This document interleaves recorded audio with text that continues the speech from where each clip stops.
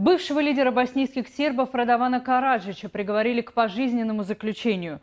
Суд в Гааге сегодня вынес решение по апелляции на вердикт 2016 года. Тогда первого президента Республики Сербской приговорили к 40 годам тюрьмы за геноцид и военные преступления в ходе боснийской войны 1992-1995 годов. Суд признал Караджича виновным в, в организации массового убийства мусульман в Сребренице в 1995 году, где были убиты более 7 тысяч человек, мужчины и подростки. Касается вердикт и осады Сараева, во время которой погибли больше 11 тысяч человек. Корреспонденты BBC встретились с теми, кто пережил эту осаду в Сараево.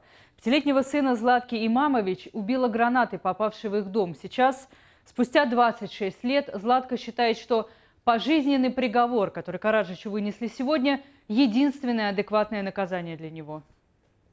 Моего Мирзу убили 21 марта 1993 года. Сегодня, почти ровно 26 лет спустя, мы ждем приговора. Я ожидаю справедливого решения от суда в Гааге.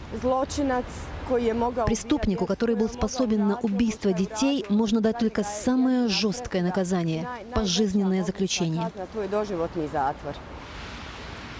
Бывшего лидера боснийских сербов Радована Караджича сегодня приговорили в Гаагском суде за преступление во время войны в Боснии. Меня зовут Златка Имамович, я из Сараева. Мой сын был убит во время осады Сараева.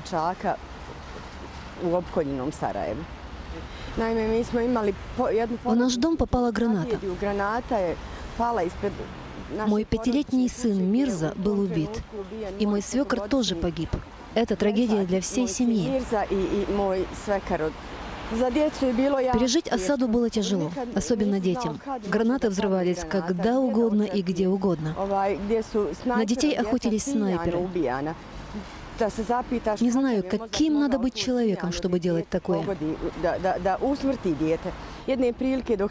Однажды я готовила, наверное, хлеб или макароны, что у нас было тогда. Мой сын спросил, «Мам, у нас есть бананы? Я бы хотел съесть банан».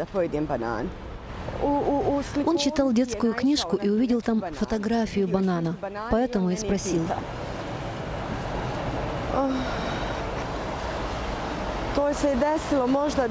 Это было за неделю или две до того, как он был убит. С тех пор я не съела ни одного банана. В числе прочего, Караджичу предъявлено обвинение в преступлениях против гражданских лиц во время осады Сараева. Все, кто совершал эти преступления, должны быть наказаны. А он был командующим, и его нужно наказать адекватно. Тогда мне будет немного легче.